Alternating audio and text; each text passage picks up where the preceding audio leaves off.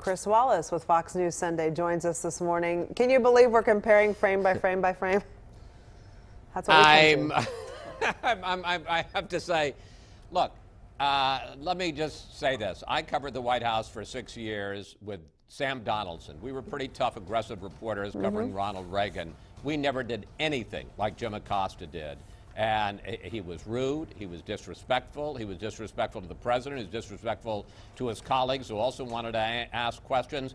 I, I don't think he's put the intern in the hospital, but clearly she was trying to take the microphone from her, and she and he uh, put his arm to stop her. I mean, he didn't assault her, but he certainly did make contact with her. That's not the real point. The point is he acted like a showboat, and I thought embarrassed himself.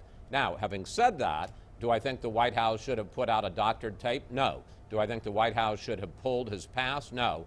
But I, you know, in, in fairness, I did talk to a top White House official yesterday who said, look, we can't have a guy in one of these news conferences being so brazenly rude and disrespectful to the president, and I think Acosta is guilty of that. Uh, and you know what? What would you have us do? I, I think one thing, and this is the real point. Mm -hmm. One thing that, uh, that that the president could have done is not called on Acosta. Exactly. Uh, but to a, in the beginning. But to some de- hmm. but to some degree, I think they both wanted this. Acosta wants to be a showboat and to get attention, and I think the president likes to see reporters acting in a rude way because it helps him make his case that there are fake media out right. there. Right. So the, the, the know, reason they both, got what, they both got what they wanted, right. and neither none of us, the rest of us, were very well served. Right. The, the, the reason he had the microphone in his hand in the first place was because the president called on him. And the reason the I microphone agree. then went to the next guy, Peter Alexander from NBC, who the president also criticized, is because the president called on him. I agree.